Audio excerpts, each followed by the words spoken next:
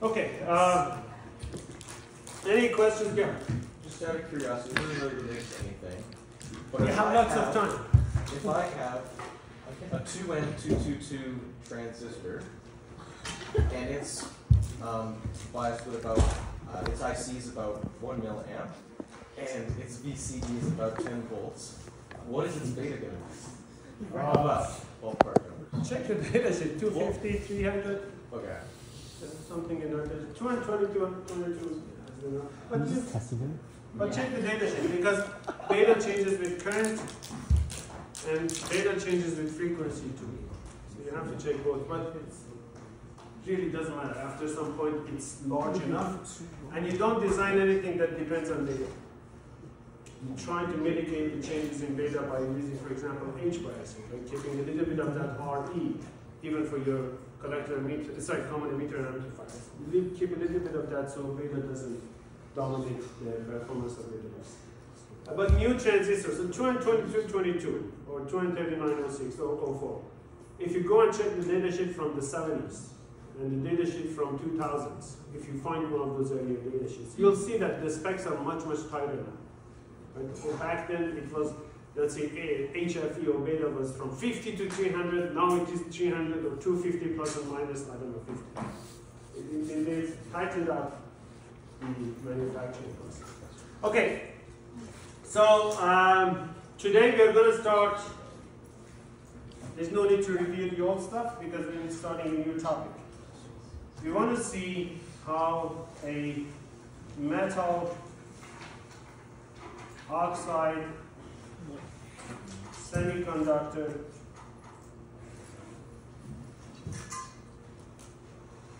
field effect transistor or MOSFET uh, works, right? It's a long name, but it's a good name because it has all the important stuff in it. So the structure looks like this. For a MOSFET, there are actually two types of MOSFET, two families of MOSFETs. You have P-type and N-type, like NPN and PNP for BJTs. We'll talk about that later. But there are also two categories of MOSFETs. There are depletion type MOSFETs and enhancement mode MOSFETs. All of the integrated MOSFETs nowadays are enhancement mode MOSFETs. So they dominate, and we're going to focus on those in this lecture or in this course actually. So this is how we make a MOSFET. So you take a piece of silicon, let's say a piece of p-type silicon, and you dope two regions in here, the opposite dopant, let's say N, or let's say N plus, you want to have good conductors, right? In between these two ends, these two doped regions, and then this is, I'm showing you the cross section, let me see if I can actually let this. The 3D view is not going to look good, but I'll try my best.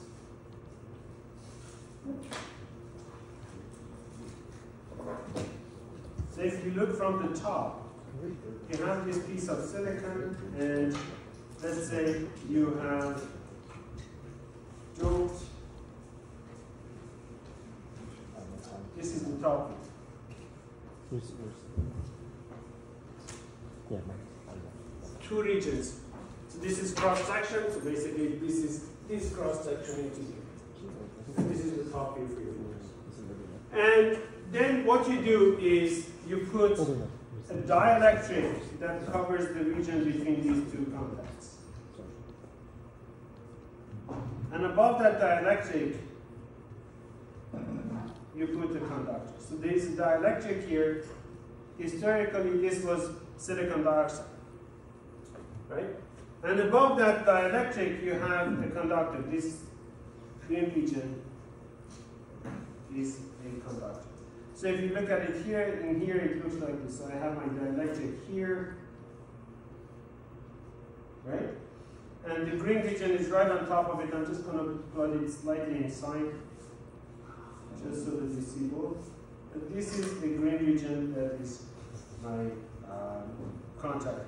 And then you establish contacts to all of these regions. So you establish a contact to this region, You establish a contact to this region, and you establish a contact to the dielectric, to, to the conductive material right here. I'm gonna name them. I'm gonna name this guy source, this one drain, and this one. Whatever you have in the bottom, right, the rest of the silicon, we call it the bottom. So you, know, you may have another contact here that connects to the bottom of your device. Okay?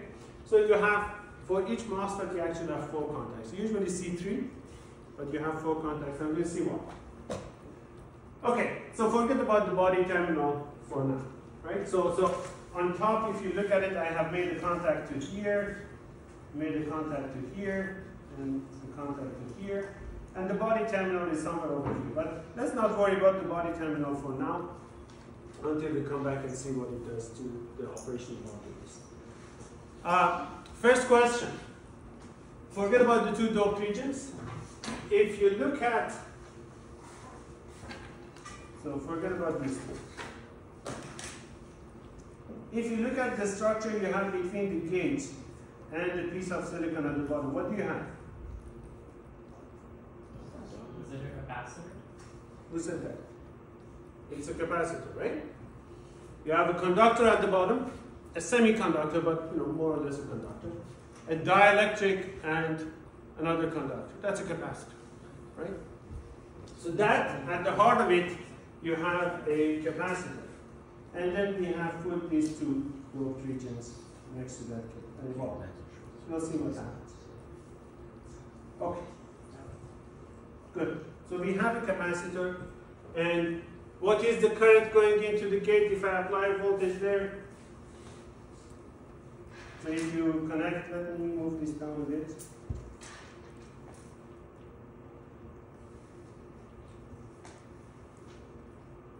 Yeah, actually, just for one moment. So now the naming is obvious. You know, metal oxide semiconductor refers to this structure. Metal oxide semiconductor. Nowadays, you don't use the metal for the gate material and you don't use oxide for the dielectric. It's different stuff, but the name stuff. So it's a metal oxide semiconductor structure. And now, what happens, let's say, if you put, uh, for now, let's assume my body is ground.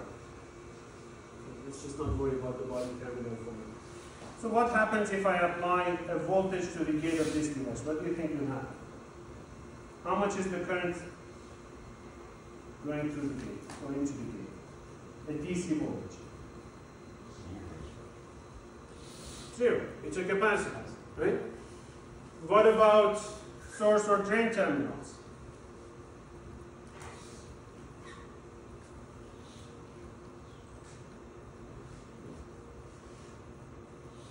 Sorry, are the drain and source connected to the conductor or? They're. Well, they have their own contact, their own contacts. So they're not connected to this. Ah. It's a separate wire. Okay. A separate wire. So what, what happens with the drain? Okay? So what happens? So with gate, nothing happens.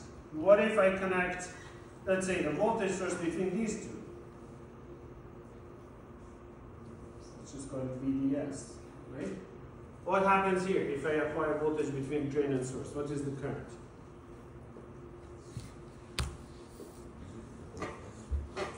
Well, look at this structure. What do you have in between drain and source? You have NPN, right?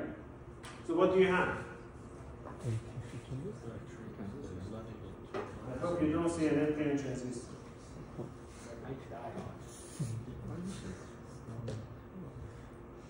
You have two back-to-back diodes, right?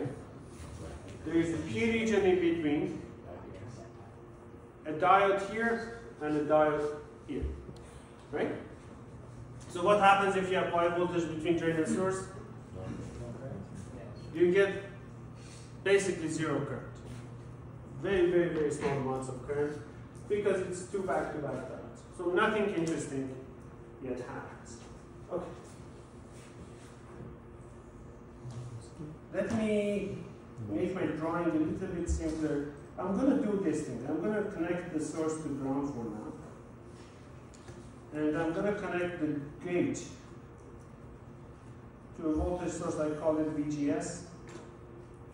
Right? Because it's between gate and source. Source is grounded, it's just VG. And I'll connect a voltage source to drain as well, and I'll call it VDS. I'm gonna play with these voltages and see what happens eventually.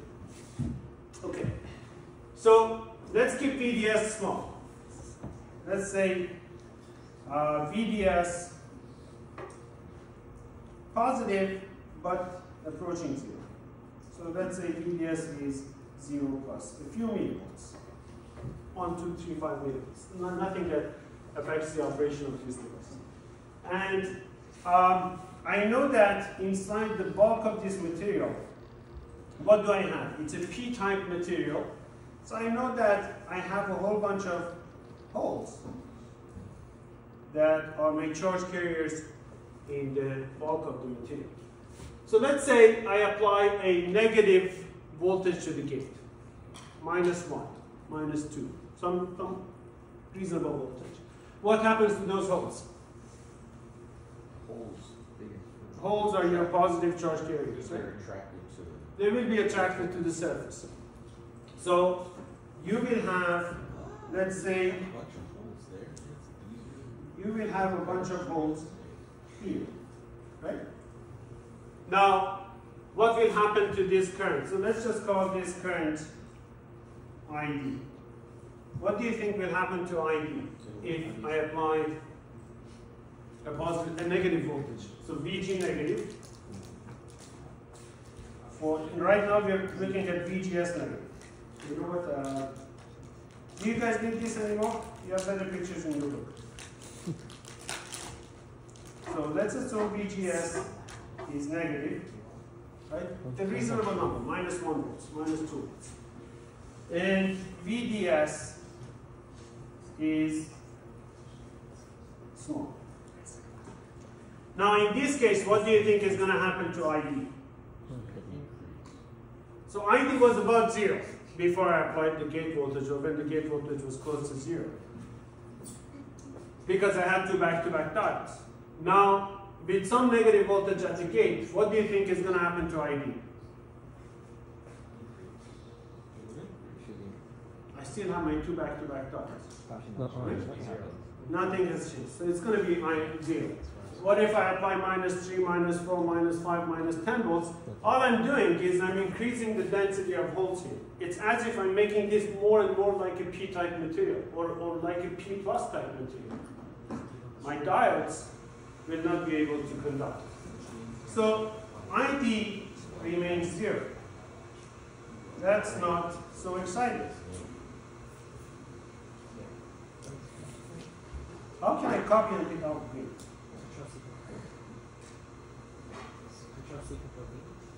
You just press copy. Oh, wow, wait. It shows the original one. Yeah. It hasn't pasted yet. That's How do I paste? hold down, Um, first copy the whole thing first. hold down, What's, uh, press paste. There you go.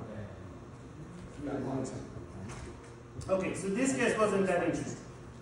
With a negative gate voltage, That's the new one. situation doesn't change. What if we push the gate voltage in the other direction? What if we apply a V gate that is positive? What will happen to the holes here? Well, so I have some random distribution of volts before. Now I apply a positive voltage to the gate. What happens to those holes? I'll push them away, right? So I'll start to push them away from the surface.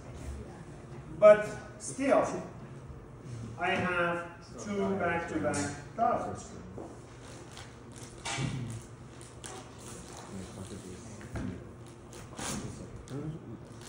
bottom layer. right? Even though, you know what, let me look at the noise. Hmm, okay. Oh, it's always. Okay, so top of it and then the bottom. Yeah, the bottom. I still have two back-to-back dots. I still have a P region in between two N regions. Let's keep increasing the gate voltage. What will happen next? I push all the holes that are nearby away. What happens next? As I keep increasing the gate voltage. Well, what do you need for n-type? You need more electrons than holes, right? So at some point, that is going to happen. Well, remember, you have electrons here too. There's very, very, there is a very small number of them. If you keep increasing the gate voltage, you're going to bring those electrons closer and closer to the surface. You're going to attract the electrons to that surface. At some point, something magical happens. At some point, you're going to have a super narrow region here. I'm, I'm going to draw a thick region, but it's going to be super narrow. Right? Where you have more electrons than holes. Right above the surface. Because you know, as soon as you go a little bit deep into the structure, that field you produce over there doesn't have the power to push the holes away or bring the electrons to the surface. Right underneath that dielectric, you're going to have more electrons than holes. So over here, there is at some point more electrons than holes. Then what do you have Uh, for ID? What do you think is going to happen to ID? It's gonna flow. yeah. Hmm? Just flow. Flow. It's going to go up. What do you have between the drain and source now? Electron. No, it's not short. Short circuit. Not a short circuit, the resistor. Yeah. Right? Because it's not a perfect conductor. You have some electrons here that can transfer the charge for you. But it's not like a metal, it's not a perfect conductor, but you have some conductors. So instead of having two diodes, now you have an N plus region.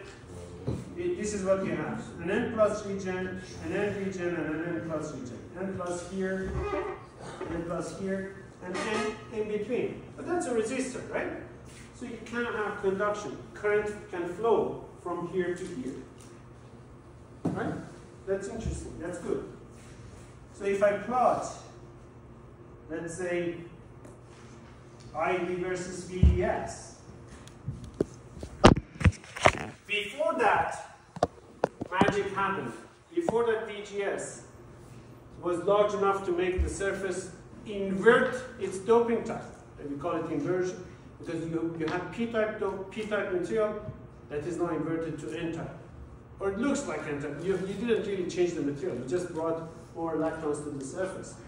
Um, before that, nothing happens.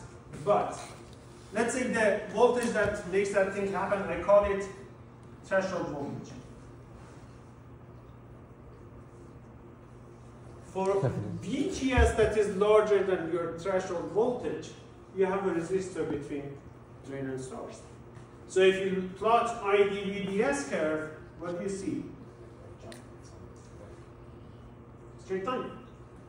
Right? So if I go and make VDS, let's say 1 millivolt, 2 millivolt, 5 millivolt, 10 millivolt, ID increases proportionally.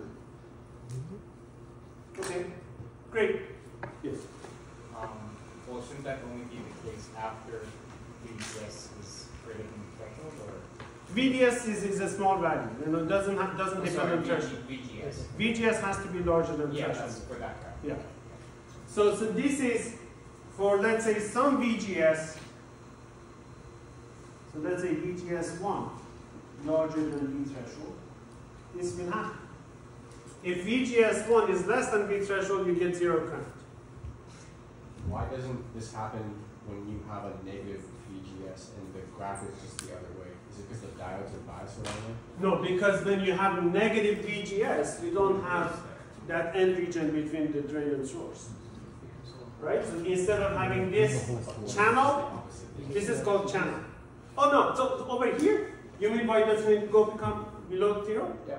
That's okay. Your, your VDS can be negative, this behaves like a resistor. That's fine. The issue is that, okay, so this is fine. This you can stretch it like that. It's a resistor. The issue, and we'll see later on, that usually your drain, at least this is an NMOS, for an NMOS the drain voltage is higher than source. So it's usually you know, VDS is usually positive. But if you want to plug it, yeah, it stretches to the negative values. Negative 10 millivolt will give you exactly the same amount of current that 10 millivolt does, but in the opposite direction. It's a resistor. Okay? But practically, usually drain voltage for N MOSFETs is larger than the source voltage. So VDS is usually positive, and we focus on the positive values. Uh, I'm confused as to why it can conduct if the voltage is negative, because then I, I imagine the electrons move away and then the holes are. No, no, no, no, no. Electrons are controlled by the gate voltage, not the drain voltage. Oh, it's the drain. I have two sources, right? So the gate voltage, once I set it and I create my channel, I, I do not touch it. I'm playing with VDS now, okay? Um, so, so I'm gonna get rid of that tail end, focusing on positive, but it is there, it is there. You know what, just to make you happy, Oh, I had a different question. Oh, that was fine. I, I draw that much of it. Yeah. You have another question or same? You might answer it if we keep explaining. So. Okay, so then hold on. So for VGS1 larger than the threshold voltage, uh, I get that behavior. What if I increase VGS1 now? So let's say I got that behavior. Let's say the threshold voltage is 1. I set VGS to 2. I got that behavior. Now let's say what happens if I increase VGS to 3? Um, you make it less resistant. Or, yeah, Uh, Less resistive, more conductive. Yes. So what will happen is that I will get something like that, Yeah. right? So for this case, for VGS 2, that is larger than VGS 1. And both of them are larger than V threshold. Okay? So, just one note. Remember we had a thermal voltage for BJTs? Mm-hmm. VT, 25 millivolt. I use VTH for threshold voltage. This is totally independent. Why? There is a, anyway, this is a different thing. This is a different thing, VTH. The value of VTH depends on how you make this stuff, right? Because, for example, you can see, actually we'll see it soon, but how much dopants, how much electrons, how much holes you have here initially is going to affect VTH. What is the thickness of oxide is going to affect VTH. All those things will affect VTH, right? But it's totally independent, so to separate it from the thermal voltage, I put VTH. It's, the subscript is TH instead of VT. VT is thermal voltage, we use it for BJTs. Okay, so, and then if you use some VGS 3 that is smaller than VGS 1 but still larger than still larger than the threshold voltage, you get that kind of behavior. Already you have a useful device. Already you have a variable resistor. A resistor whose value you control with the voltage. Right? First time you're saying that thing. But this is a linear resistor whose value you control with the voltage. Great. It's a potentiometer. It's, it's, so in a lot of circuits when you see a variable, electronically controlled variable resistor, this is what it is. It's as simple as a MOSFET. It can, it can be this. It can be this, okay? All right, so that's great. So let's see, I'm getting some current through this guy. Let's see what are the parameters that can influence the amount of current I have. I'm getting some conduction. What do you think that ID will depend on? I'm gonna look at a few parameters. I have to draw that top view again. So this is the top view. I have my N plus region here for source. My N plus region here for drain. And I'm just going to draw the dielectric side. And this is my gate area, right? So underneath the gate, underneath the dielectric, I created a channel. That's where the current flows from drain to source. The channel width is the same as the width of your do- doped region. So I'm going to call this the channel width, right?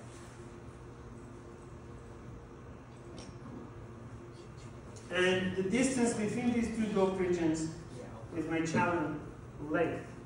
So the channel that I have over there, the yellow, yellow part under the gate, has a length and a width.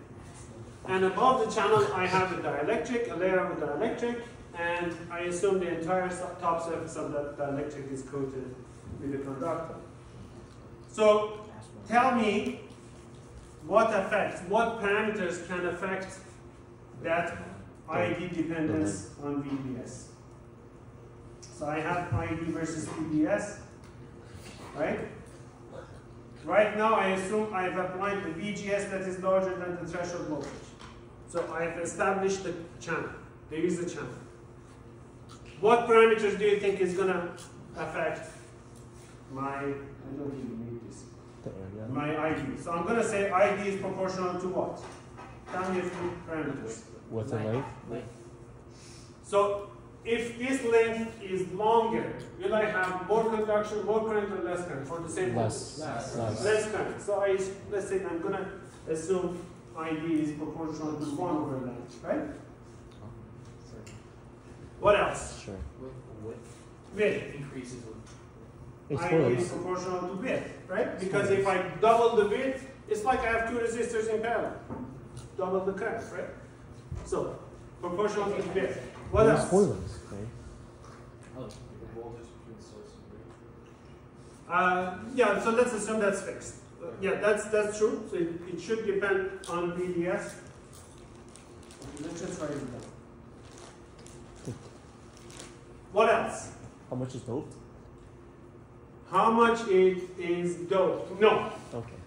because it's indirectly proportional to that because VTH is, Oh, is a okay. function of how much doping you have. But once you have the channel, that's out of the picture. Temperature? But, but you know, let me write it this way. So ID should be proportional to VGS minus VTH, right? Because how much voltage, how much extra voltage I'm putting there to bring these electrons to the surface. If I put a lot of extra voltage, I have a lot of electrons. So lots of current will go through. If not, then I make it harder for my carriers, my charge carriers to, to go through. So it is proportional to VGS minus VTH.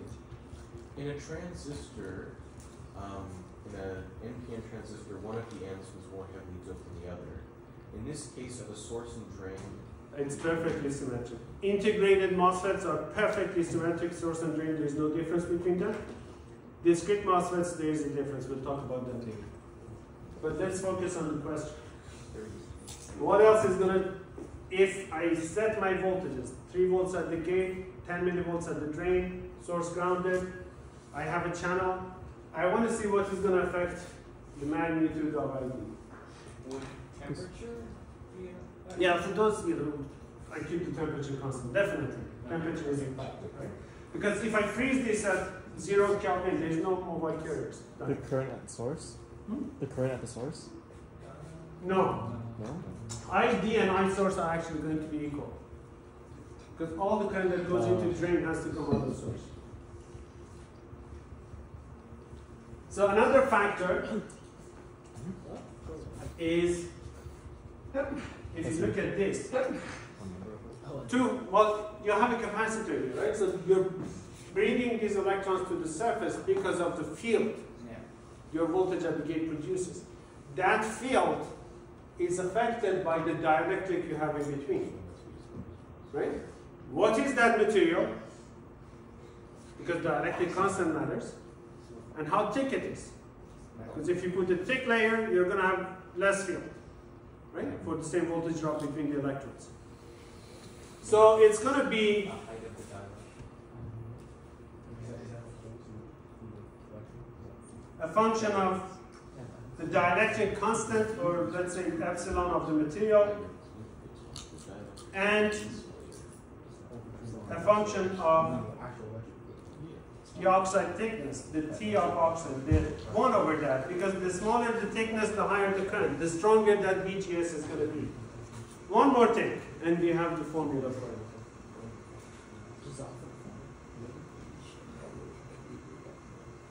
How fast the electrons move in this semiconductor, the mobility of electrons. How fast can they move between drain and source? So this is the mobility of electrons. The actual physics is a little bit more complicated, but this is the gist of it, right? So at the end of the story, you can show that ID, the formula, the physical formula, is mu n, mobility of your electrons, C oxide, the normalized capacitance of oxide. It's going to be uh, normalized by A. It's going to be the epsilon of your material divided by T oxide. That's C oxide. It's not a capacitance, normalized capacitance per area, right? Per area. T ox over T ox. Times W over ratio, right? Times VGS minus VTH times VDS. We just multiplied everything on the right side, right? So for a device, Oh. Yeah. What is mu? m- mobility of electrons. So it just says that if you apply this much field to this electron, how fast, physically, how fast it travels. Is my C? No. No, no, that's the speed of light. Electrons move much, much, much, much more slow. You go way slow. They are very slower than that. We're talking about centimeters per second or hundreds of centimeters per second. Wait, COX is uh, EX over T Yeah, right? C oxide. So this is the normal. C oxide should have been W times L, the area of your capacitor, divided by the thickness of your capacitor times epsilon R, which includes the epsilon naught, or relative dielectric constant times this, right? So this is your actual capacitance. Okay. But it's normalized by the area. So it's just this divided by T oxide. It's a technology parameter. If you choose to work with TSMC and this technology, you cannot play with any of these anymore. With uh, any of these anymore. W and L, you choose. C oxide, uh, you cannot choose. Mu n, you cannot choose. what W and L are your choice. And VTH will be fixed. But that's the equation. As simple as that. Right? Okay, next. So far, a very easy device to understand. It's not complicated like NPN or PNP transistors. Those guys are much, much more complicated. But how come this wasn't invented first? If this is so much easier to understand. Well, but the concept. I mean, it has a NPN inside of it, so like, in order to make the MOSFET, you also have to make the. You go from diodes to MOSFETs, not diodes to BJT. Oh, Okay, that was a trick question. This was actually the idea. What the heck? Was conceived first. that's right. Okay.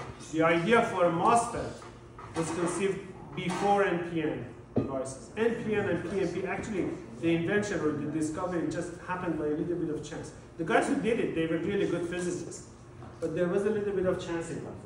With this, there was another physicist in Germany that just came up with the entire structure and then, you know, showed that it should work.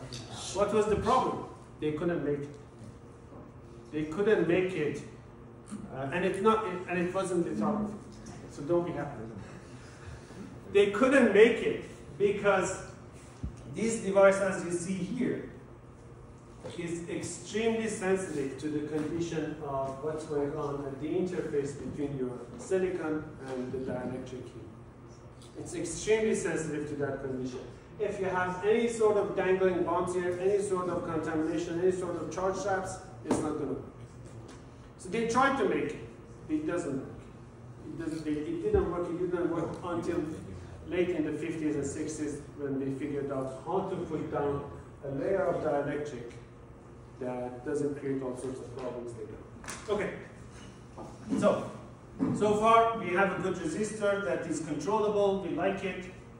Let's see what happens if we start to play this bit more. So I'm going to draw this thing again.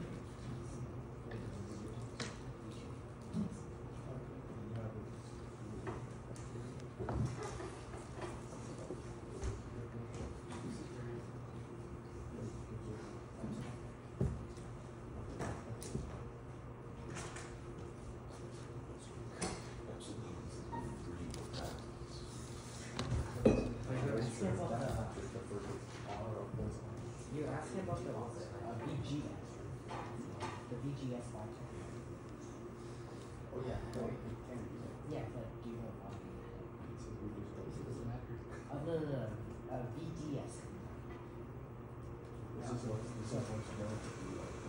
Yeah. Yeah, So like before, I'm going to keep the source grounded. And I apply a variable voltage to drain because the source is grounded, VDS is the same as VD. And I apply some VGS to the gate. Okay? Let's assume I've established my channel. So I've gone and created a channel that stretches from drain to source. And it's the inversion thing has happened. And I have my variable resistor so I have current going through this channel. Okay, so that's the, the yellow part is the inverted part. So far I'm assuming that what? VGS is larger than the threshold voltage by a good margin, right? If the threshold voltage is 1, VGS is 2. And VDS, I'm, I've been assuming it's really small. So I've been assuming that VDS is very small. And because of that, ID was given by the formula that I just showed you. Now, let's start increasing VDS. Right? So going from a few millivolts up going up, let's say, in 100 millivolt steps. Or 200 millivolt steps. What do you think is going to happen to that channel? To.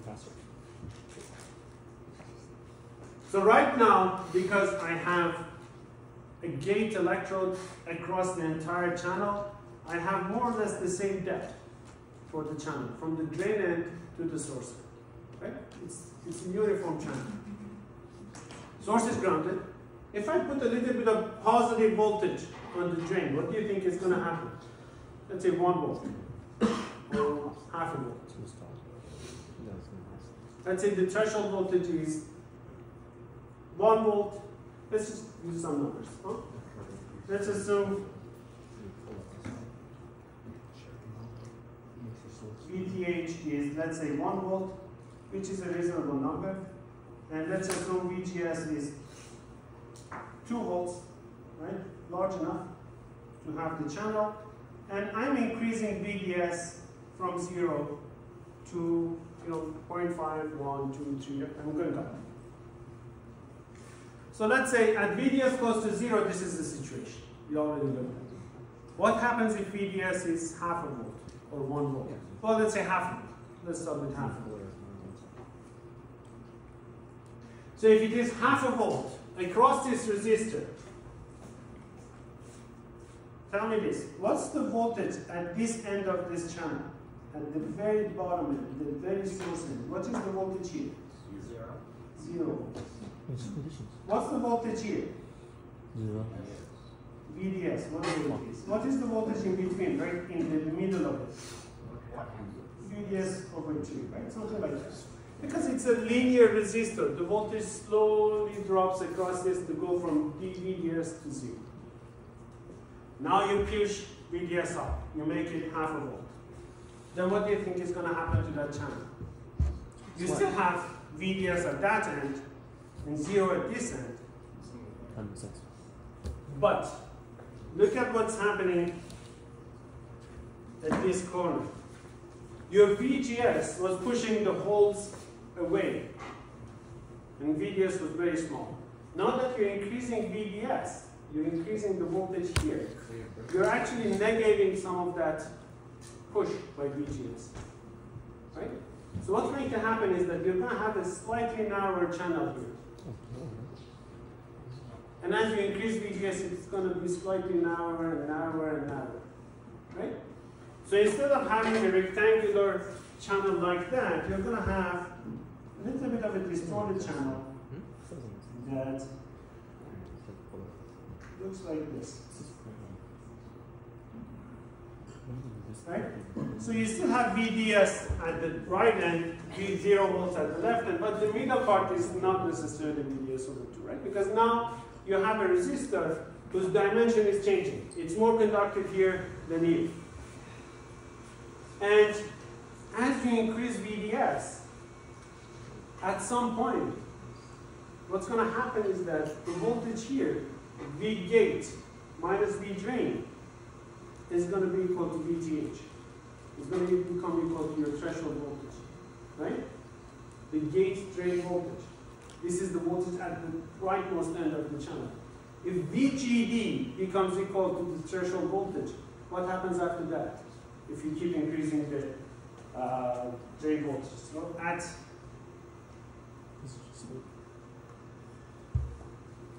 at VGD equal to V threshold, what's going to happen?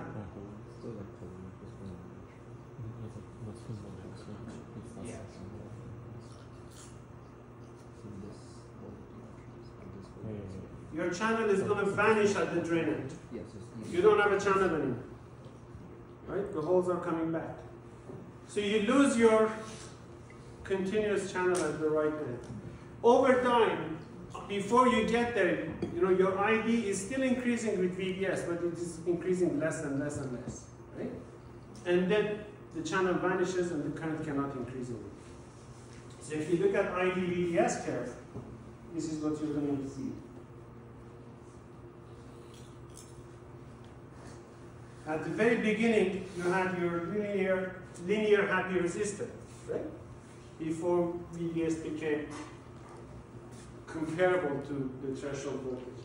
As you get closer and closer to the threshold voltage at the gate drain end, your drain current, your channel is going to deform. It's going to become a triangular channel cross section instead of a rectangular one. So ID will not increase as much. It's going to start to increase a little bit less. It's still increasing, but it loses that linear relationship that it used to have with VDS. So initially linear, mm-hmm. then starts to become nonlinear like that, right?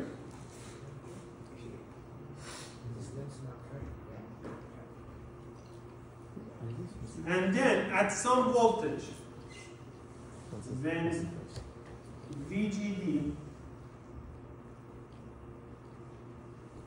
is equal to VTH. You lose your channel at the drain end. And this current will not depend on VDS anymore. Becomes constant.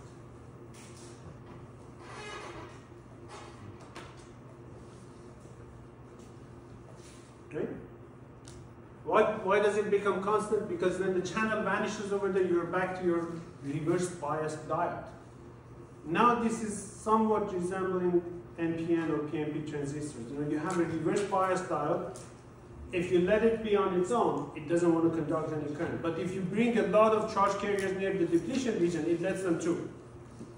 So that's how you get your constant current. Now this current does not depend on VDS anymore.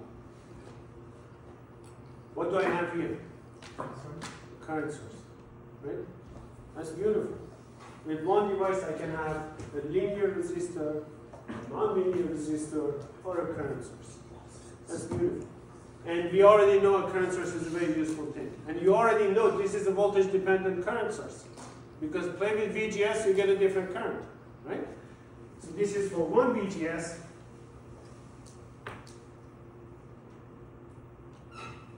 And then if you have a second VGS that is, let's say, smaller, you still get your linear region at the beginning, you still get your non-linearities, and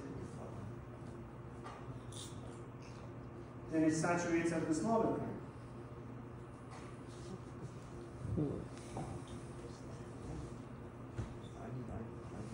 And then we can have larger values as well. So you have a controlled current source. This is a device that we really, really like. You already know about, right? We can play with it we with NPN. Nice thing about it is that it's a voltage controlled current source. For an NPN, it was more or less a current controlled current source. It was IB that would set IP, IC. Now it's a voltage that is setting your uh, current, your IP. That's nice. Let's look at the formula. So this part, let's look at that. ID for that region is found from this expression. So I'm gonna write the equation. It's not as easy to see. It's not too hard. So well, I'll, I'll tell you what it looks like then. I'll tell you how to draw it.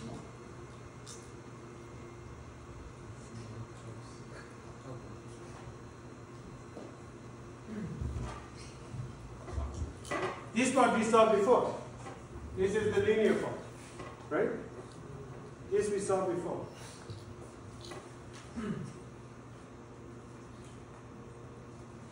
Let me see if I'm missing anything here. So this is the linear part, right? This is my linear resistor. That's what we saw before, the, the equation of physics was easy. But the nonlinearity kicks in. And you can show that it follows a pattern like that. Right? It's proportional to VDS squared. Where does that come from? It's from the shape of the channel that is taking the triangular cross section. And when you calculate the resistance from drain to source to calculate the drain and all of that, you need to integrate from drain to source for the resistance, right? And you're integrating a linear shape, you get a squared factor. That's, that's where the square term comes. Check the book. I think he drives the whole thing in like two pages. It has a much, much, much easier, physics than an NPN device. But this is it. So for the device that is operating before, so this is for when? For VGD less than V threshold, right? I haven't, I, I still have a channel at the drain. This is my resistor. Initially a linear resistor, then becomes a non-linear resistor, but I still have my channel. At the point that VGD becomes equal to VTH, the channel disappears, the equation will change a little bit, I'll show you that in a second. But this is the equation, right? Not too hard. And then remember, mu and C oxide is a constant that you will have, like beta for your transistor. W and L depends on what you're using. If you're using a discrete MOSFET, it's a given value. You cannot change it. If you're designing an integrated MOSFET or integrated circuit, L has a minimum. That's the technology. So CMOS, 7 nanometer CMOS. What does it mean? Seven nanometers. It means L is 7 nanometers. Minimum L. Right? 22 nanometer CMOS, 45 nanometer CMOS. That's L. That's the indicator of you know how advanced your lithography is. W is usually your choice. You choose W to suit your need from that How circuit. many like free variables like that are, are here? Like if you didn't know like half of these and you wanted to like design a W and L. Hmm? W and L. Only? Only W and L. Oh, nice. That's good because for a BJT you have none. You, you, you get what you get and you, you cannot change anything about a BJT. For MOSFET you have two parameters to, to. What is the range for W over L? It can be less than one, very rarely it's less than one, up to a few thousand. What? Depending on how you design it, right? If you look at digital MOSFETs, it's close to one to one because they're pushing for the minimum dimension. They choose minimum L and usually the smallest W they can get away with. For analog performance, you want, what do you want from a G transistor for amplification? Remember from NPN. What do you want? A high what? High gain, high gain. Well, where does the high gain come from? Transistor property, high GM. You want high transconductance, right? We'll see. For MOSFET, transconductance is directly proportional to W over R. So for analog designers, you go and choose W to get the GM that you want. L is usually not the minimum when you design with analog circuits because minimum size device usually has a crappy performance. Digital guys don't care. Guys uh, more picky. Okay, any questions? We have 10 minutes to go. I want to finish this. Okay, What's this one? so this equation holds for as long as VGD is less than VTH. It's positive, now I I have some voltage going, some current going through the device, but I still have a channel. When for VGE, And actually, you know that this is definitely true that VGS has to be larger than VTH. right? Because I want to have the channel to begin with. Without the channel, I have nothing, no current. So this has to be satisfied, and this is also satisfied. Now, for VGD that is larger than VTH, then my channel vanishes as soon as VGD becomes equal to VTH. I will have the same current that I had here when VGD became equal to VTH. This doesn't have anything with VGD in it. Let's just see if we can make that happen. Um,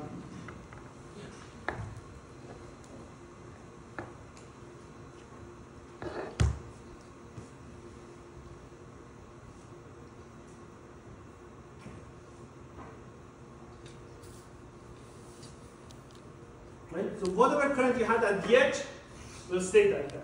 So let's see what is that current. So at VGD equal VTH. What can I say? I can write this. I don't have anything that says VGD over there, but I have VGS and VDS. So let's write this as VGS and VDS. So I, what I can see is that VGD is what? VGS minus VDS, right? Or VG minus VD. Doesn't matter. I and subtracted VS as well. So VGD is VGS minus VDS. Right? So that is equal to VTH. Or from here I can see that VDS is equal to VGS minus VTH. Because I want to get rid of VDS, I go and plug this into that equation. And then you get this equation for the current.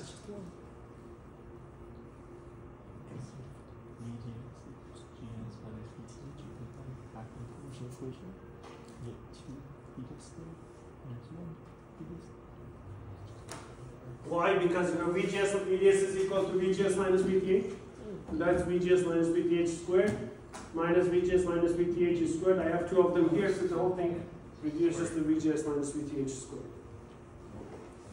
So that current Oh no no. is this current, right? The current after I'm past that region. And that's it.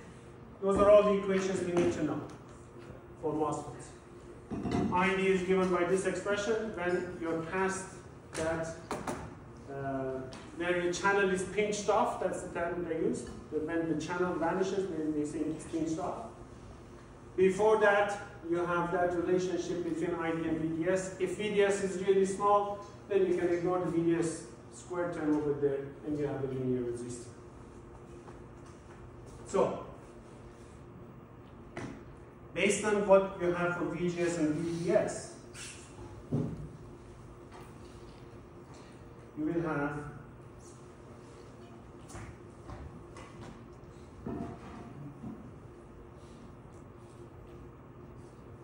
three operating regions. If how do I want to do that? How did I do that before? Just trial. Trial. Um, Trial? Oh, it's actually called trial. Trial. It's like yeah, it's a trial, it's a. Because so you have three possibilities. First one, when I didn't have a channel and I didn't have anything interesting. I call it cutoff. This is where, this is where my VGS was less than VTH. Right? So I didn't have a channel at the source end, and VGD was also less than VTH. And I don't have a channel at the drain. So both ends, I don't have enough voltage to create a channel. In a case like that, I have two, um, uh, two off diodes and ID, which is the same as IS. IS in this case is the source current, it's not saturation current. Right? IS is the current of source terminal. ID and IS in a MOSFET are always equal. Why? Because it's one Why ID and IS are always equal? This is the one path. Is is connected to each other. Is the current that goes into Is the current that goes into IS What about IG? What's that about that? IG is always zero. Right? If you look at the KCL here, if I cut this, the current that goes in should be the current that comes out. IG is zero, ID is um, going in, IS that comes out must be equal to. Right? So in a MOSFET, IG is always zero. Life is easy.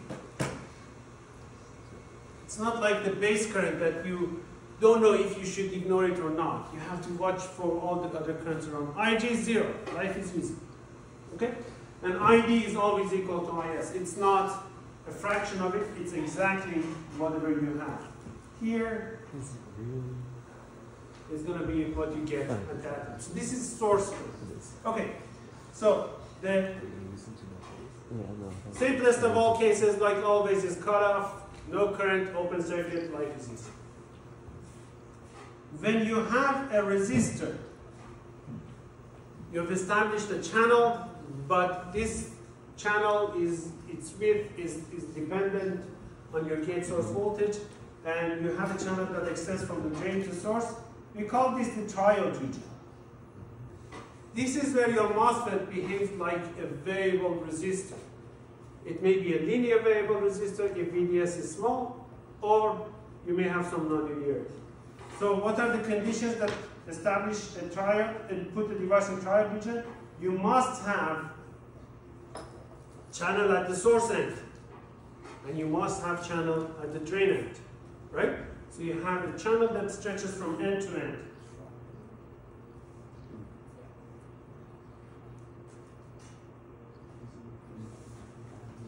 Okay?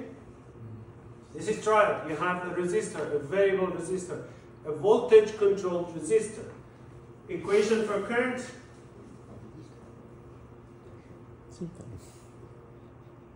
Oh, perfect. Okay, it's a TV. Okay, that makes sense. Okay.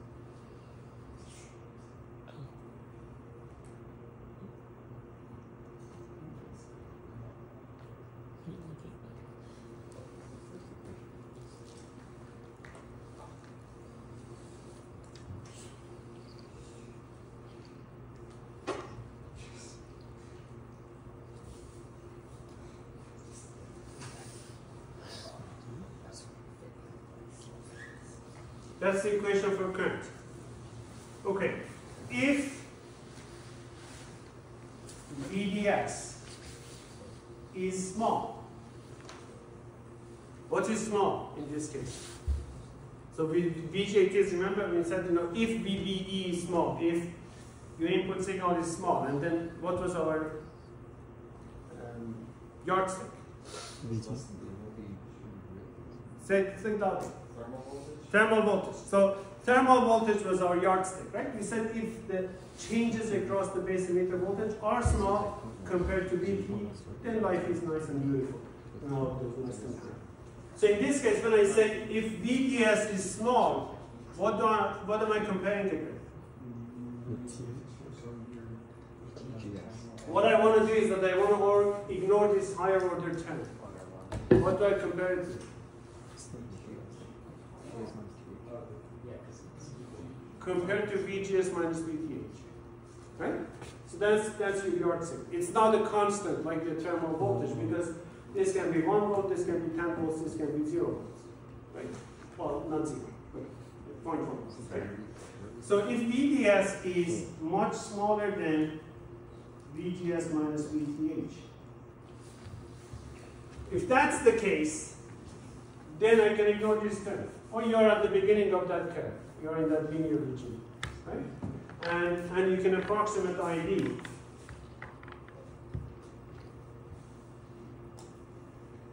With this expression.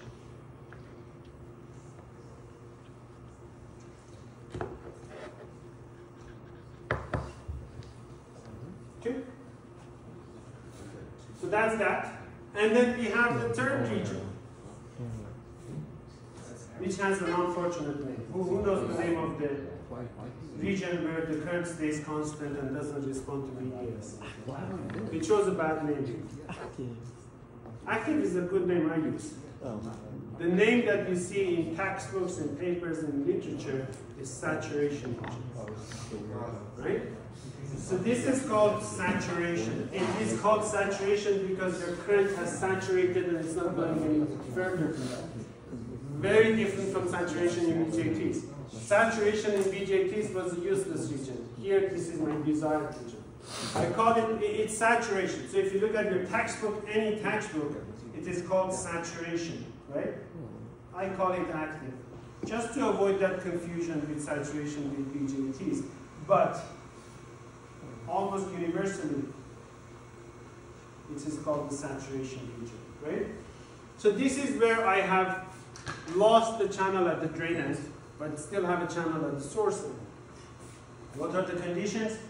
To have the channel at the source end, I need to have a V threshold, sorry, VGS that is larger than V threshold, but at the drain end, I don't have it anymore.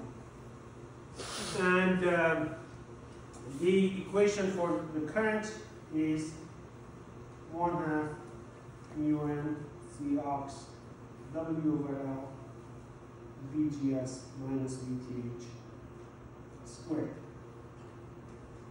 Okay? And then if you want to plot it in the active region, ID VGS, it's going to look like this.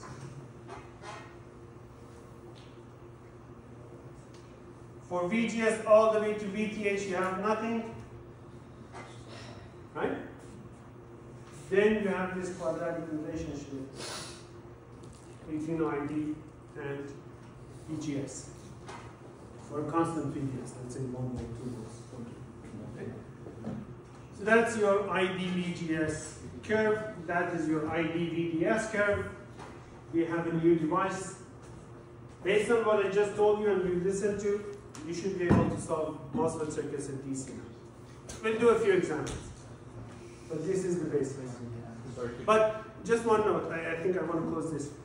It's much, much easier than BJTs with MOSFETs. Tell me why.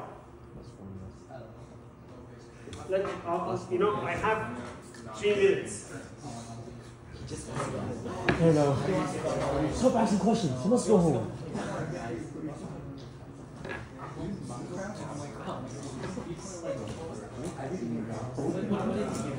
The command block. Oh, I didn't show you the symbol.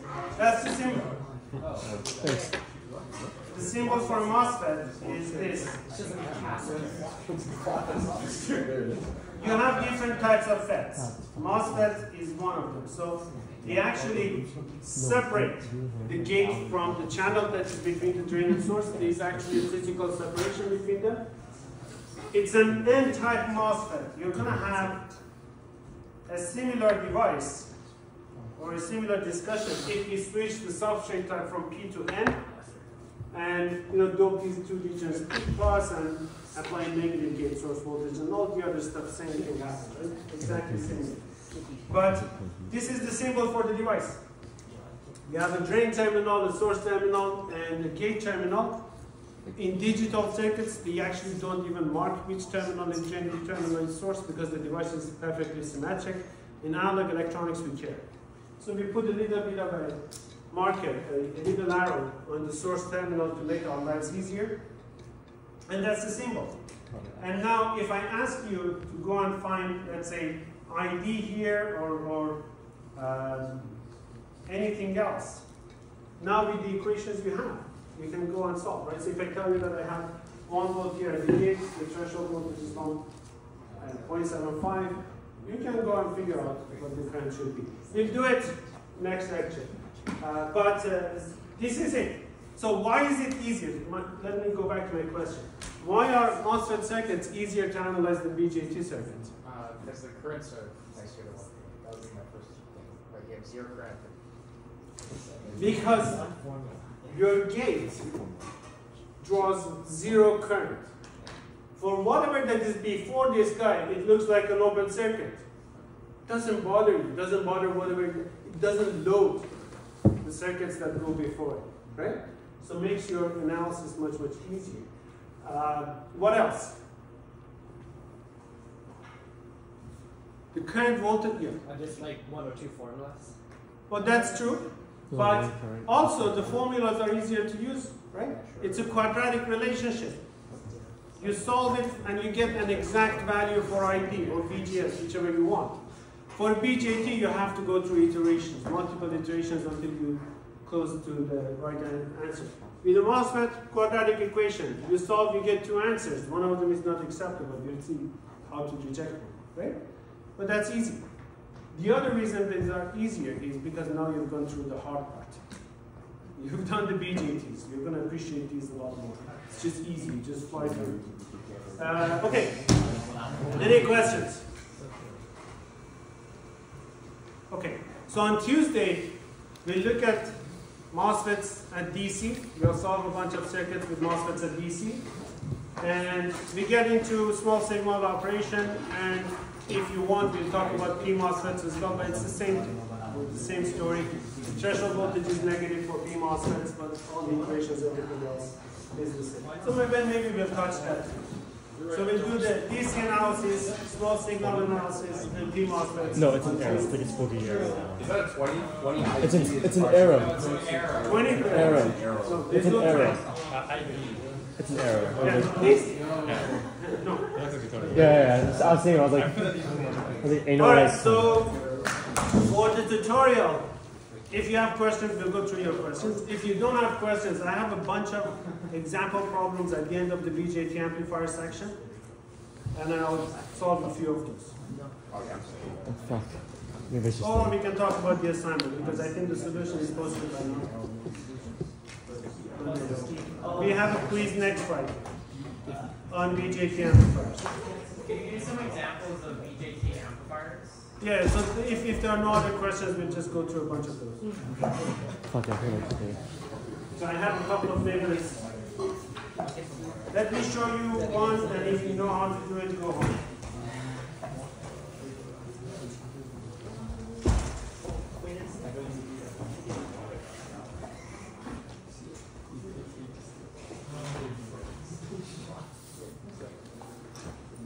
So I'm going to solve these problems that the end. Where is it?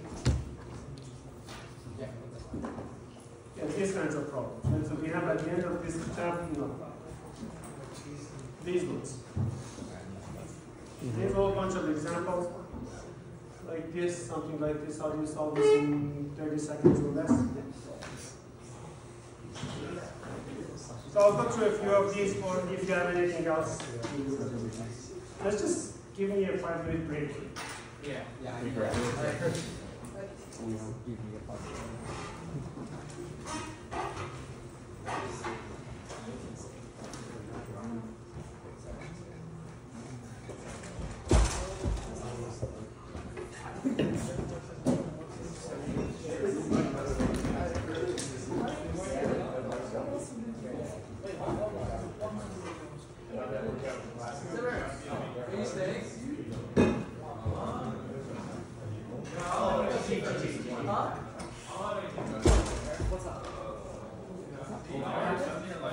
I was in a 730. To be fair, I guess I'm probably leaving right now. It takes two hours to get home. So.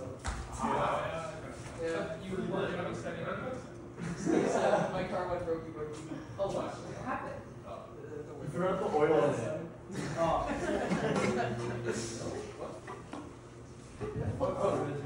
Sorry.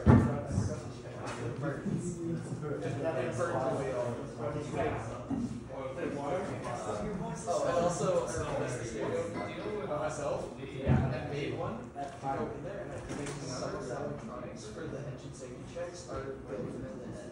Yeah. So you can use it. I took out just turn up all the Well, for some part, I just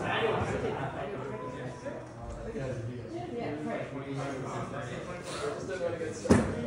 Yeah.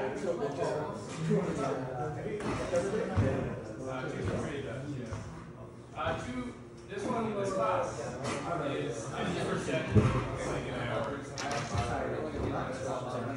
I know, I was like walking, I was like walking, I'm reading it, and I like, I rammed it into the rain. You know, it's like. Oh. So that's, that's one of these. From the previous one? No, Do you know what the difference is? It's a gap, the president is coming here to take my pictures. Okay. I work on the saving. So, So, no, no, no, yeah, sure. Everyone knows that. No. Like the, like the third quarter year for this is like, oh, in a. Yeah. And then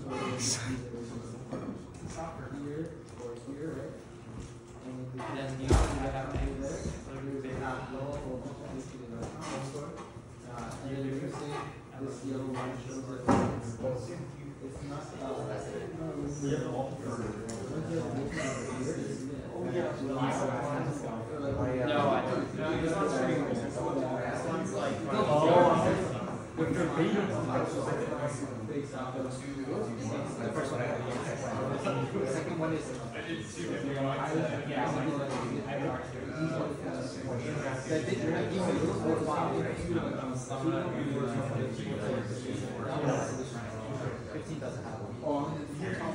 Yeah, but fourteen, the first.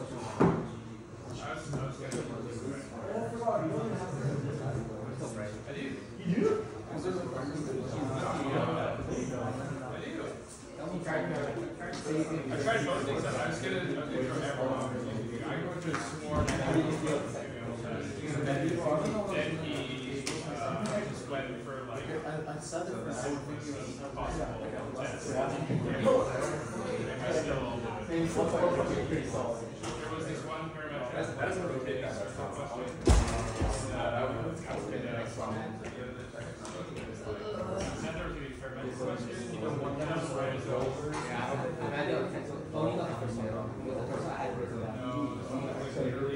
you spin a disc and then it drops. When it doesn't stop running. Yeah.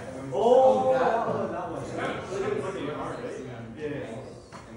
Well, this is no shame. I mean, it was, it was for. I'm not sure, I forgot that March some money. I was allowed, fine. It Well, I didn't do that, how. was not bad. Was it? End. What are you doing? What are doing? My friend's You're, there's a, so what you're doing is you're proving the properties of, so linearity, modulus, time very, what you're, and how you do that is you have a very, accurate, like gantry system, and it's run on track, like and basically you, you, you give it voltage, and then you give it like segments of voltage, and they all up to get the same amount of time, and essentially the system's linear, and the, the lab manual is really stressed Oh, you gotta have the data. and then the tools are just like the graph and not care. So you screen capture everything and then you see it. All right. Yeah, I haven't it So, um, any questions or let me just do a few random problems? Let's look at this slide. So you take and then you go through too,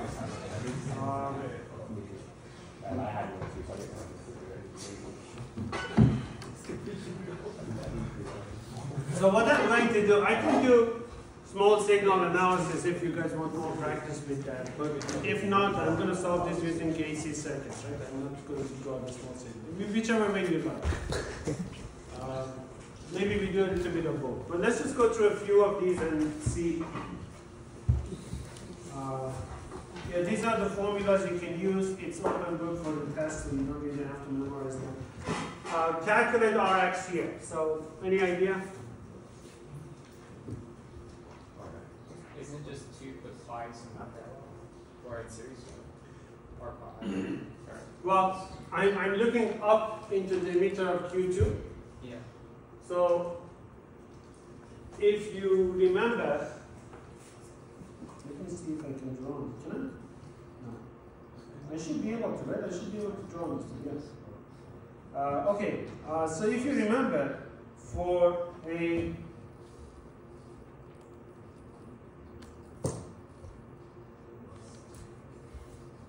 circuit like this, when I looked into the emitter of this device, the resistance that I saw let's just call it RIE, was 1 over GM plus RB over beta plus 1. Right? Or you can solve. You can solve. If you want, we go through a. Uh, I'll, I'll look at one of these that is a bit more interesting.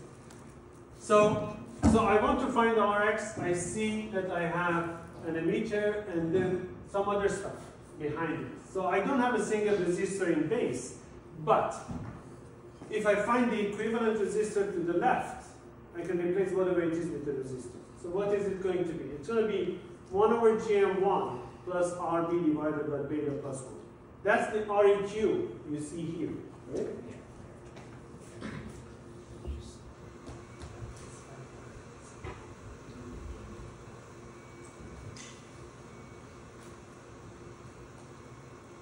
This is beta 1 plus 1 if the two transistors are not the same.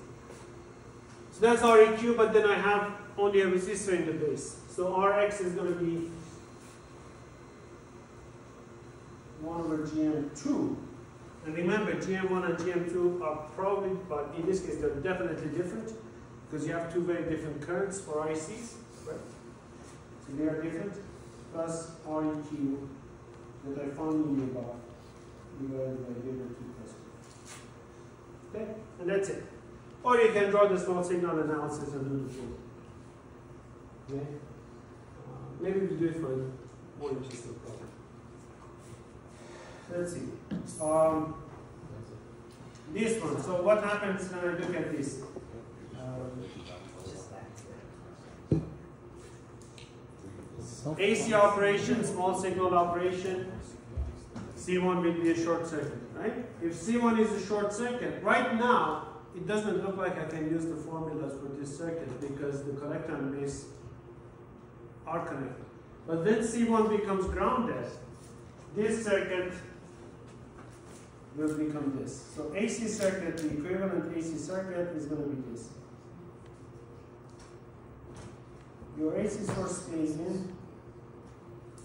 Uh, R1 is between that base and C1, which is now shorted to ground, so this is R1. And then I have my transistor, RE. And on the collector, I have RC to ground.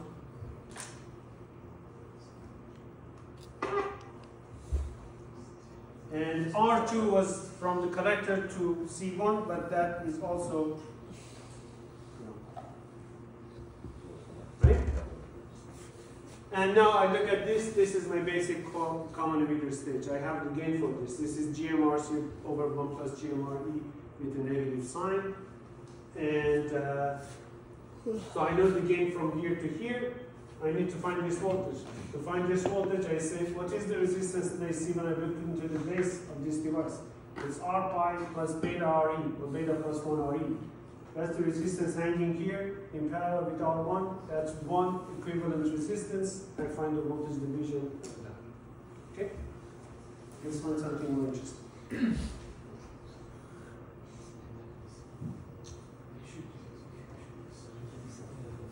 This one, same issue, same thing, right? So again, you're biasing it with the current source, whatever you have current. Uh, you, the DC analysis for this one is a little bit tricky. AC analysis, there's actually DC analysis for this one, huh? This one will be off if you do the DC analysis. The biasing is not shown. This is because you don't have between base and emitter, you don't have enough voltage. Anyhow. Uh, assuming things are all right. AC circuit, you have C2 grounded. I1 for AC circuit, it's a DC source. It will be an open circuit. VCC will be a short circuit to ground, and you are again back to a basic common emitter stage, right? R2 from emitter to ground, RC between the collector and ground, and then the rest of it uh, as before.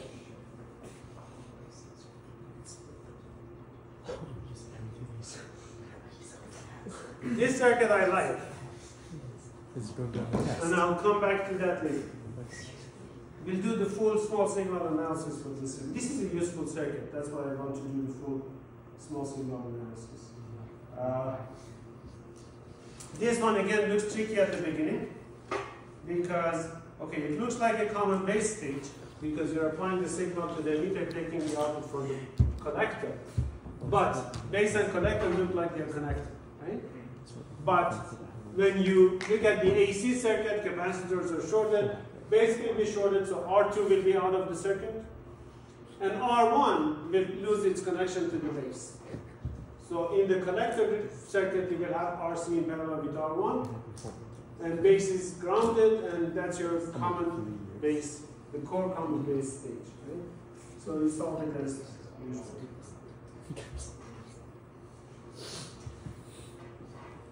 This one we already did. This have done.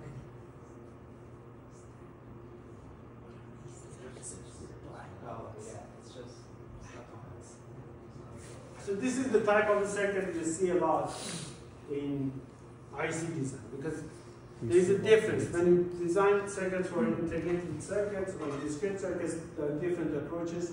Discrete circuit design, you use as many resistors and capacitors as you like, and usually as few transistors as you can because of the cost and performance issue.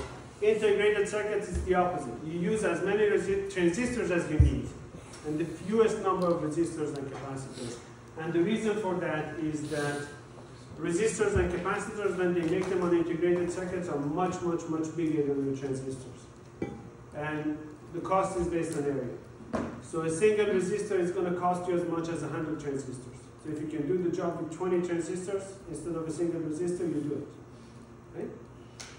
Uh, so, so situations like this, you, you see a whole bunch of transistors on top of each other or next to each other. These are usually coming from IC design. But let's see how we solve it. So if I want to find the input resistance, it's R pi plus beta RE. What is RE? It is this guy plus whatever I see at the bottom.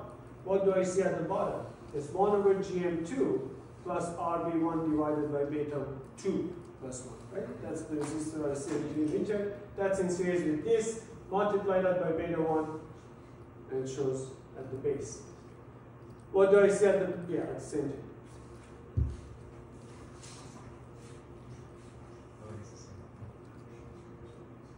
Okay.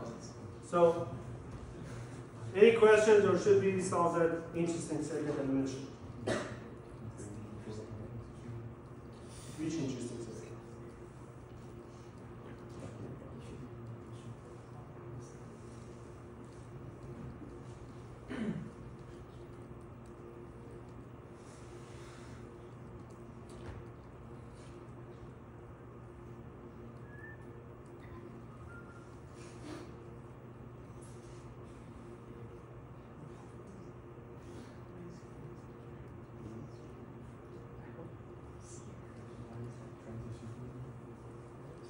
Is the person upside down? Works class. You can take the output from here, let's just call it 0, 1, or here. Usually take it differentially from between VO2 and VO1. So if the output is VO2 minus VO1, well, we'll see how it goes. Okay? So this is a fundamental amplifier stage. It's called the differential pair. Uses two transistors. And uh, let's see how it works. So let me do it the easy way first. Let, let's see, my goal is to find AV, that is VO1 over here. Right? And R in, that is resistance that I'm looking to the base of Q1. Okay, so I'm showing you the biasing and everything, right? But if the devices are biased properly, so usually what you have is two transistors that are exactly the same as each other. They're called a matched pair, right? So you can actually go to DigiKey or Mouser or those websites and buy a pair of matched BJTs, NPN or BJT. They're matched pairs that come into one package. They may give you access to all six terminals of these devices, but for the vast majority of the cases, the emitters are actually connected internally, and you have access to the other four. So you have access to the emitter plus the other four. Okay? So it's a matched pair. You can buy them, and if you buy one of these matched pairs, the two transistors are exactly the same. So or very, very, very close to each other. The differences are less than, let's say, 0.01% between them. So if that's the case, and assuming that your VIN has no DC bias, what do you think is going to be IC1 and IC2 in this circuit? Zero? Well, I bias is some current, uh, and assume VCC is large enough so the devices are in active region. What is IC1 and IC2? And usually for symmetry, you use the same values for RC. So I'm going to say RC1 and RC2 are equal, right?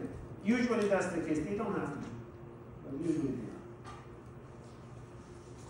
It's going to split equally between the two, right? Because the bases are ground, the emitters are connected to the same node, and therefore I bias is going to split equally between this junction and this junction, and therefore your ICs are going to be equal. So that's nice. If that's the case, and RC1 and RC2 are equal, then VO1 and VO2 will be equal too, right? Because VO1, let's say DC.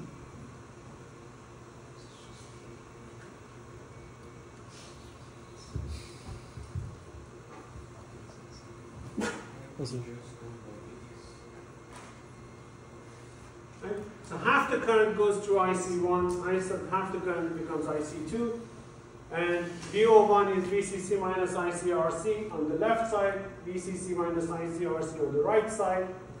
The two are equal. So if you look at the difference between the two, the difference is zero. Right? So zero at the input, the difference between those two voltages at the output is zero as well. So that's it. So DC analysis is easy. What about AC? So if I want to analyze this circuit under AC conditions, what do I have?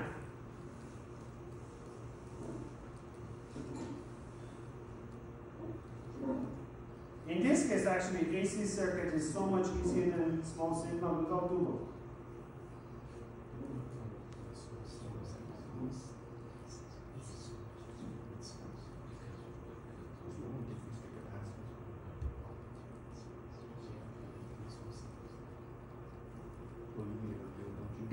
And where is the emitter connected to? The emitters of Q1 and Q2? No, no, it's couldn't tell you because there's, no current. No, it's just like this. Right? So for AC circuit, your DC current source goes away. That's what you got.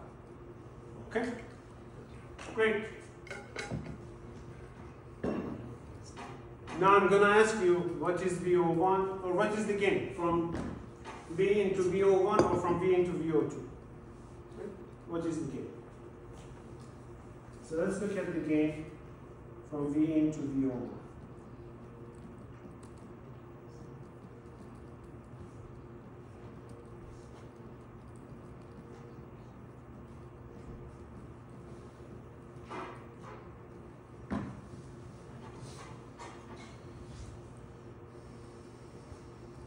Okay. If I'm looking at V into VO1, I can just replace Q2 when everything that is on the right side is equivalent resistance, right? So what is the equivalent resistance when I look into the meter of Q2, when I look to the right of this node? What is it? Okay, you just saw that. 1 over gm plus rb over beta plus 1, right? There's no rb, so it's just 1 over gm2. So, whatever that I had there, I'm going to replace it with 1 over gm2 here. Uh, this is my common emitter stage. I know the gain, I know everything. So I know the gain of this guy is minus GMRC, uh, in this case GM1 and RC1, over 1 plus GMRE. So it's GM1 RE. RE is 1 over GM2. Right? Uh, good news.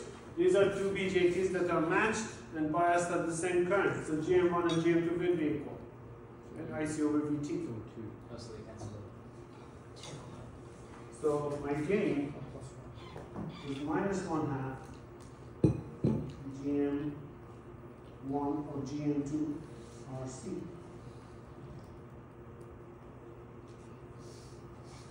Okay, so it's half the gain of the common emitter stage. The common emitter stage with zero emitter resistance would have a gain of GMRC. Now this is half GMRC. Okay, so I, I, I it's not too bad, but I could do better, see the common emitter. Then why would I like this thing?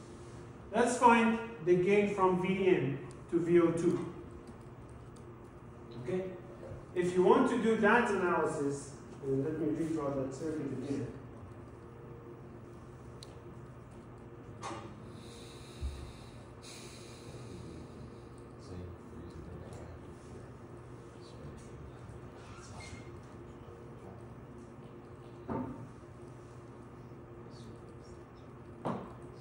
And this is the AC circuit, right? So no VCC at the top.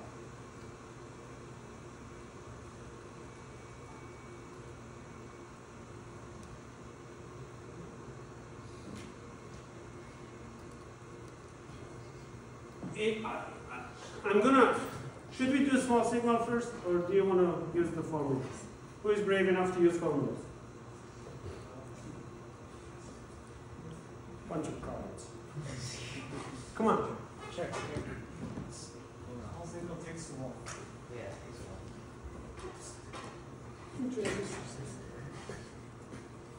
while. But, but okay, so tell me. Uh, let, us do the small signal and then I'll show you the AC. Okay, looks complicated, doesn't look like anything I've seen before, so I draw my small signal.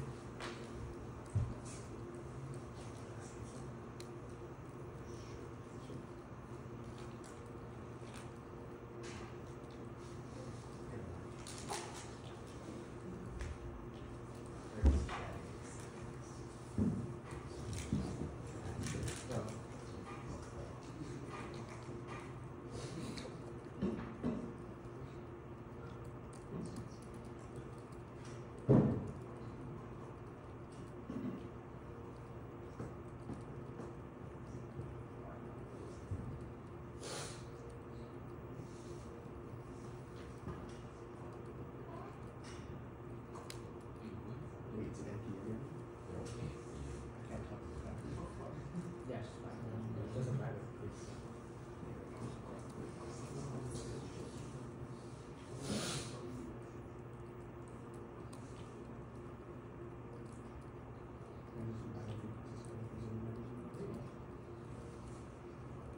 This is my small signal circuit, right? I got rid of the DC sources at the top of RC1 and RC2, and the DC current source at the bottom becomes an open circuit. This is my uh, small signal circuit. How do I solve this? What are we looking for? Um, let me know that The emitter current is zero in this case. Um, I'm just looking at it. So, What, this one? No, I don't think so. This one? um, no, I just mean, um, when they. Oh, the current going between yeah, them? Why should it be zero? Because look at your source. You're Uh, connecting this end of a resistive network to a higher voltage than that end. There probably is some current. Maybe, maybe not, but there is probably something. Why I never, I was working with something with no current through that thing. Because then you, there's no voltage drop, right? So then. Then the two are isolated, Oh, well, it and doesn't uh, your second stage doesn't see anything, and VO2 is zero. Uh, it's not zero. Maybe I'm thinking of this wrong, but wouldn't it be if you have a small input voltage that it would then um, create some current and therefore some voltage at the base at the negative end of VR of V pi two, which would then mean the current would go. You may worry about the directions later, right? But how do I solve it? So where do I start for solve? Is the voltage drop across RC2 and RC1 the same? So you could just start with using the same like dependent sources there to ground? Uh,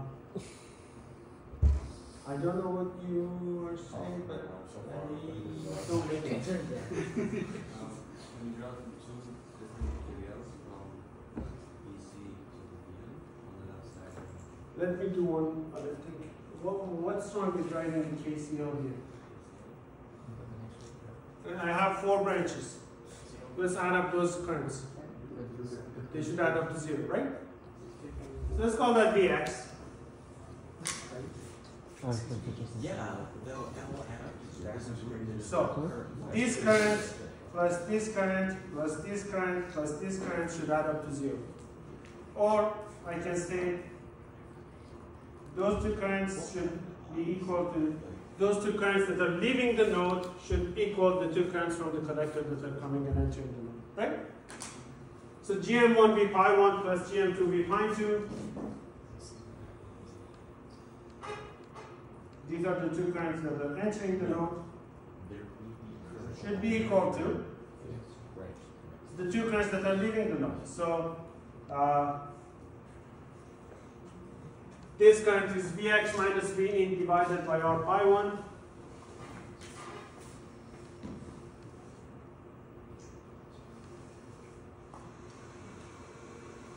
Oh, I have some quick solution right away. Let me write those two currents as V pi 1 and R pi 1. So silly. V pi 1 over R pi 1 and V pi 2 over R pi 2, right? So this current is going to be minus V pi 1 over R pi 1. And that current is minus V pi 2 over R pi 2. Okay? Next. Actually, I never solved it like this in 15 years. Just had. V pi 1 times GM1 plus 1 over R pi 1 plus V pi 2 over GM2 plus 1 over R pi 2 is 0. Right?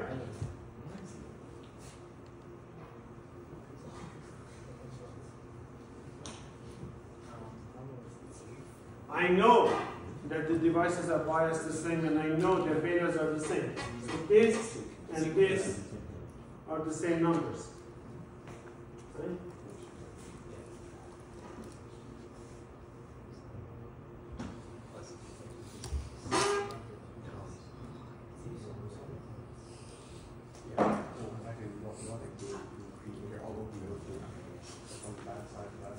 Great. So V pi 2 is minus V pi 1. Whatever you have for V pi 1, V pi 2 is the opposite. Good, but it doesn't help Okay. because both of them are unknown. I need one more equation. Right? So help me with the other equation.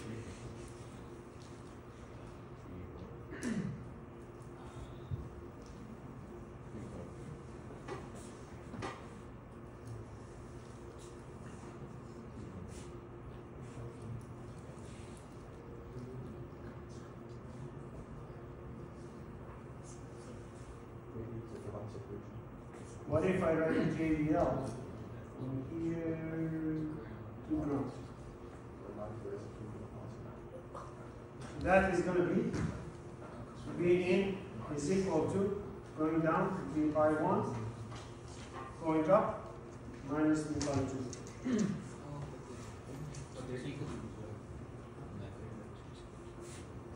V pi 1 minus V pi 2. V pi 2 is minus V pi 1, so I can find V pi 1 right away. So I can see that from here right away that if I put for minus V pi 2, if I put V pi 1, V pi 1 is half V in.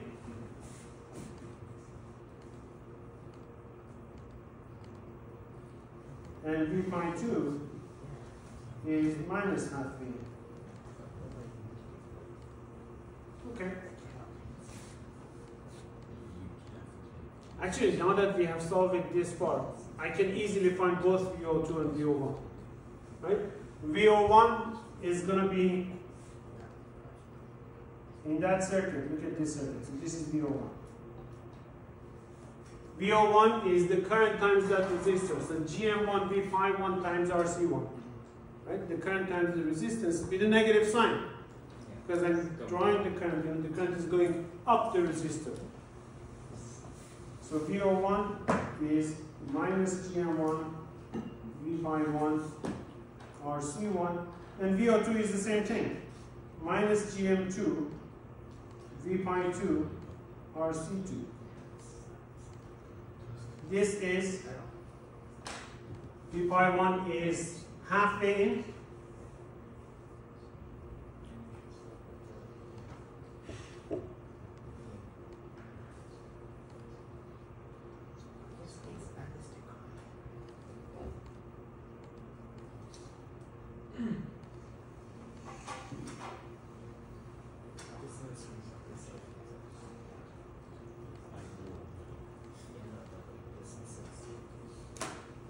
I have a positive gain from one branch, negative gain from the other branch. Right? So minus half GMRC1, we actually saw that uh, before. We said this is a half a, uh, like half a common emitter stage. Right? But it's, it's interesting. In this stage, when I apply V into the input, I have negative gain from here and a positive gain from here, and they're exactly the same. So if you apply something like this here, you get something like this over here, and then something like this over here. You get the two versions. The signal that is inverted. Both of them are magnified by a factor of 1 over GMRC. Uh, half of GMRC, sorry. But you get the inverted one from this branch, and a magnified one positive gain from the other branch. Usually, you look at the difference between the two, VO2 and VO1. So if you look at the difference, you get your GMRC gain back. Right? And you get rid of the DC that you have. You don't need a capacitor to get rid of that DC. You don't need that coupling capacitor. The voltage difference between them has no DC. So when you switch to the small signal model, what's the? Same uh, When we read through it as a small signal model, why do we just ignore the current source of it? Because it's a DC current source. Right? But this is beautiful. I have my positive gain, I have my negative gain, I have all of the gain that I had from a single common emitter stage back. And if I don't like the DC value, if I'm feeding this into an A to D, you know, you, when you look at your A to Ds, there are A to Ds that have differential inputs. What does that mean? Has, has anybody seen, used the D, A to D before? Analog to digital? So A to Ds can measure, can digitize a voltage relative to ground or a differential voltage, so V1 minus V2. And that's the preferred method, especially for precision A to Ds. Right? So it produces your output for a precision A to D. You can put it right before your A to D, magnify your signal, and you've got done. And you don't have to have those coupling capacitors and any of that. It's DC free, just the way it is. You can amplify DC signals with this. Okay? So it's a great stage. And it's, it's used in a lot, it has a ton of applications. What you can do is that you can take the out gain from here and put it here. And you see it's the same, it does the same thing, but it's only the gains are different. Now this gain is positive, this gain is negative, right? But what does that mean? If you have V1 here and V2 here, okay? This output is proportional to V2 minus V1. It does the subtraction for you as well. And give you some gain, right? It, it does a lot more. So it, this is all the linear stuff, and this is a fraction of the linear stuff it does. It actually can do multiplication too, but I don't tell you about that. anyway, it's a great stage. Small signal wasn't too bad.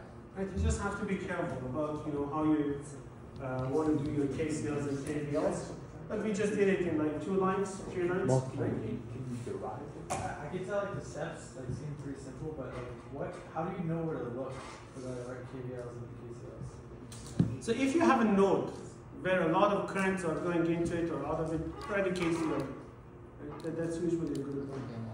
And KVLs, I want to have the minimum number of elements in my KVLs because the, the issue with KVL is, you know, at the end of the story, in many cases, I want to know voltages. What gives you voltages is a KCL. So KCL is probably my go-to method in most situations. KVLs, we can go through loops, but the issue with that is that every voltage can, every component can have a different current rate, right? And then it can become a little bit confusing. I, I like KCL, and in this case, I have a node with four contacts. Turns out that they are related to each other, so it became easy. But that's my go-to method most of the time, unless you have a, let's say, voltage source at that node that draws or supplies any current you want, and you're not interested in that current. So it becomes a new variable that you cannot really figure out. So unless you have that, uh, I go with the KCL in most situations. Okay. All right. So let's do the the other thing. Uh, three minutes, two minutes. The AC circuit thing, right? So how do I, the, the first part was easy. You know, from VO1 to V in was easy. I have a common emitter with a emitter degeneration with an R. That was easy. But what was from V in to VO2? What do I have? 3, 2, 1, go.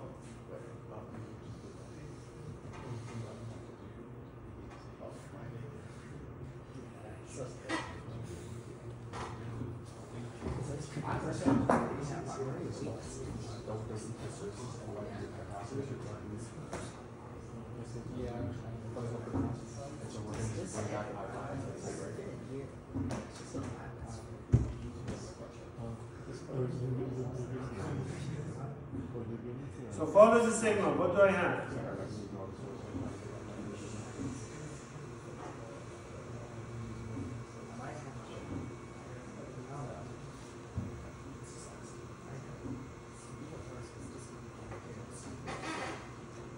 What do I have? What is this first guy? Signal goes into the base, comes out of the emitter. What is it?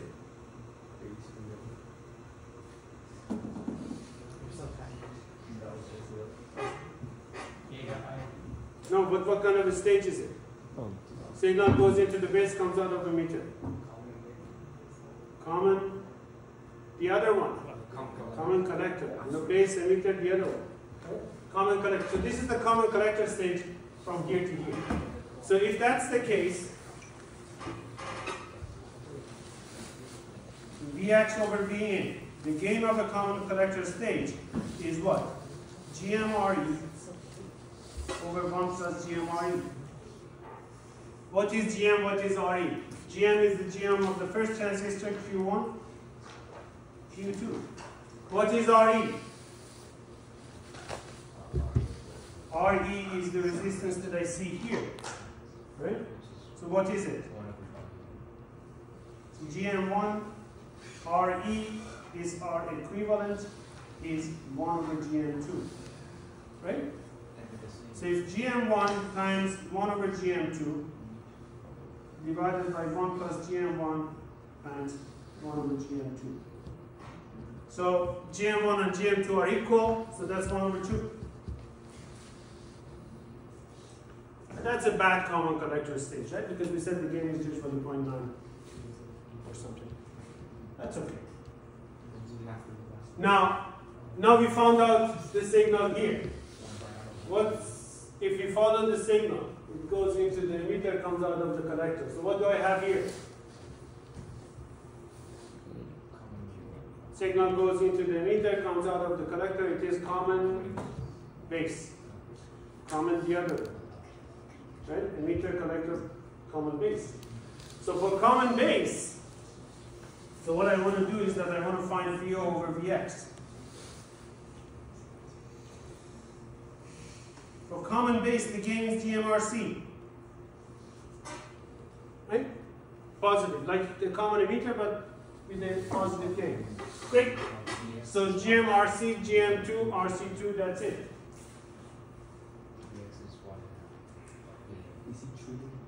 So the total gain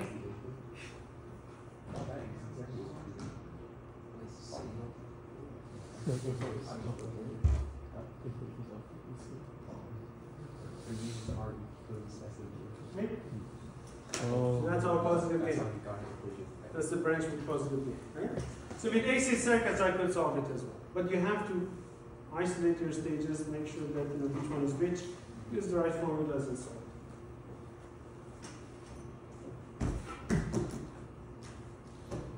This is a differential curve. Remember this. This is a really, really nice circuit. So Any questions?